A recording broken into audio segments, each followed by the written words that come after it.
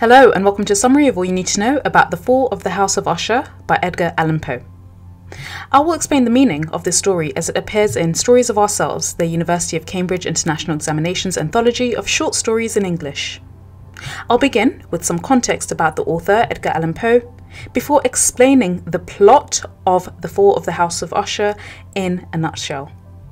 I'll explain the characters that you should be aware of in this story, and I'll highlight important themes that you should also be aware of when studying this text. Now, bear in mind that we do have a Stories of Ourselves course that goes into depth on these stories, so make sure you also sign up for our course. Now, let's get started. Now, to understand this story, it's really important to have some contextual information relating to Edgar Allan Poe himself. Now, he was born in 1809 and he passed away in 1845, and it's been said that Poe was a manic depressive, a drug addict, an epileptic, and an alcoholic. Also, he had syphilis, which is a sexually transmitted disease, and he fathered an illegitimate child. Now, Edgar Allan Poe's mother was a teenage widow who married David Poe, and Edgar Allan Poe was their son.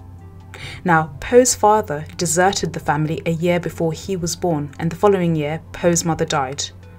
He was thus taken in as a foster child by John Allan, a rich southern merchant. Allan never legally adopted Poe, but he did give him a home and a good education, and Poe attended the University of Virginia, but left after a year due to lack of money, so he ran out of money. He later moved on to Baltimore and he married his cousin Virginia Clemm in 1836 when she was just 14 years old, yet she died of tuberculosis in 1847. Now, in 1845, Poe published his poem, The Raven, and this became instantly successful. However, he sadly died just a few years later in 1849, just as he was gaining fame and notoriety. Now, let's talk about the fall of the House of Usher and begin with a summary of the plot. Now, the narrator of this story is essentially summoned to the remote mansion of his boyhood friend, Roderick Usher. He is filled with a sense of dread by the sight of the house itself, and the narrator reunites with his old companion who's suffering from a strange mental illness and whose sister Madeline is near to death due to a mysterious disease. The narrator provides company to Usher whilst he paints and plays the guitar, spending all his days inside, avoiding the sunlight and obsessing over the sentience of the non living. When Madeline dies, Usher decides to bury her temporarily in one of his house's large vaults. A few days later, however, she emerges from her provisional tomb, killing her brother while the narrator flees for his life. The house of Usher then splits apart and collapses, wiping away the last remnants of the ancient family. Now, when it comes to the characters, the first character that you should be aware of is the narrator himself. Now, we know very little of his background and we never even learn his name. However, we do learn that he was a childhood friend with Roderick Usher, and he arrives to his house, his mansion, on horseback at the house with the intention of helping Usher. Though he details precisely the nature of Usher's madness, it suggests, it's suggested through the course of the narrative that he too may be losing his sanity, so the narrator himself may also be losing his sanity. Indeed, given his terrified description of the ghastly house in the opening passages of the tale, the reader must wonder whether he was sane from the start. Now, the other important character is Roderick Usher. So he's the last living descendant, along with his ailing sister Madeline, of the Ushers, a time worn family of wealth and prestige, known as patrons of the arts and givers of charity, but also stricken with a peculiar temperament that seems to run through the blood. Never having crossed lines with other families, the Usher name lies entirely in the direct line of descent, so that after Madeline dies, Roderick is the only family sole living exponent. At the beginning of the story, Roderick Usher already suffers from severe mental illness, which steadily grows worse as the tale progresses, and after his sister's death, he seems to retreat completely into madness. Before that precipitous fall, however, he dabbles in painting and shows himself to be an able guitar player.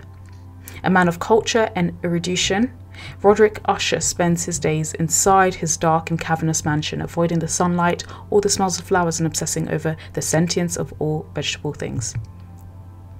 Now, Madeline is the other character, so she's Roderick Usher's sister, and she suffers from a mysterious illness, cataleptic in nature, never otherwise explained. Now, what's most important to this story, however, is the degree to which Roderick loves her. He seems unable to bear the thought of her death. The fact that the two of them live together without spouses in the great family mansion suggests, given the peculiarity of the two and their unusual family history, the possibility of an incestuous relationship, which of course also contributes to their illness. Now, when it comes to the themes of this story, the first is that of mortality. Now, the plot of this story essentially involves a woman who dies, is buried, then rises from the grave. But we wonder as readers, did she ever die? Near the horrific finale of the tale, Usher screams, We've put her living in the tomb. Premature burial was something of an obsession for Edgar Allan Poe himself, who featured it in many of his stories. Now, in this story in particular, however, it's not clear to what extent the supernatural can be said to account for the strangeness of the events in the tale. Madeline may actually have died and risen like a vampire, much as Usher seems to possess vampiric qualities arising from a sofa on which he had been lying at full length when the narrator first sees him, avoiding all daylight and most food and roaming through his crypt like abode. Yet a more realistic version of events suggests that she may have been mistaken for dead, so his sister may have been mistaken for dead and luckily managed to escape her tomb. Either way, the line between life and death is a real fine one in Poe's fiction, and Usher's study of the sentience of all vegetable things fits aptly with Edgar Allan Poe's own preoccupations. The other theme is that of madness. Now, Poe writes that Usher, and to quote from the text, entered at some length into what he conceived to be the nature of his malady. Now, what exactly his malady is, we never learn. Even Usher seems uncertain, contradictory in his description. To quote from the passage, it was, he said, a constitutional and a family evil, and one for which he despaired to find a remedy, a mere nervous affection, he immediately added, which would undoubtedly soon pass off. The narrator notes an incoherence and inconsistency in his old friend, however, he offers little by way of scientific explanation of the condition, so as a result, the line between sanity and insanity becomes blurred, which paves the way for the narrator's own descent into madness. The other theme is that of fear. So, if we were to try to define Roderick Usher's illness precisely, we might diagnose him with acute anxiety. What seems to terrify Usher is fear itself. Now, to quote from the passage, to an anomalous species of terror, Poe writes, I found him a bounden slave.